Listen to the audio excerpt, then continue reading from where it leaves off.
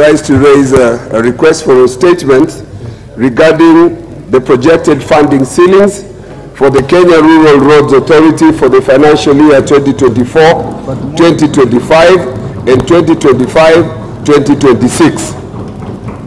Honorable Speaker, pursuant to the provisions of Standing Order 44-2C, I wish to request for a statement from the Chairperson, Departmental Committee on Transport and Infrastructure regarding the reduction of the projected funding ceilings for the Kenya Rural Roads Authority for the financial years 2024, 2025, and 2025-2026.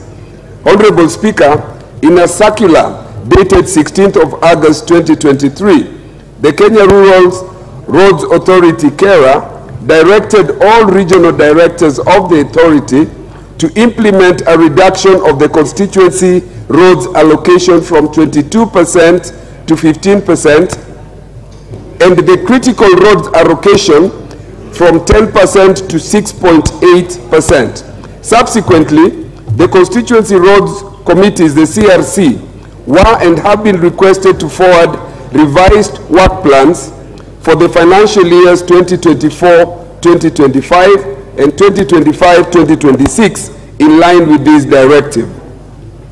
These reductions will greatly affect the maintenance of works undertaken by or in the constituencies. Honorable Speaker, the Kenya Roads Board Act requires the National Assembly to approve all proposed programs under the Road Maintenance Levy Fund. Notably, the proposed programs did not receive the approval of the National Assembly.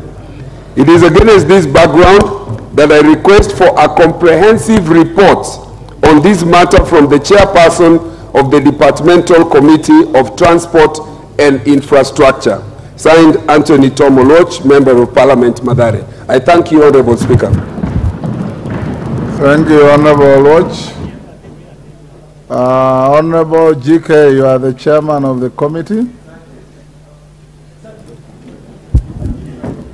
Are you in a position to say something or we give Yes. you time? Yes, I am able to say something. Uh, Honorable Speaker, thank you.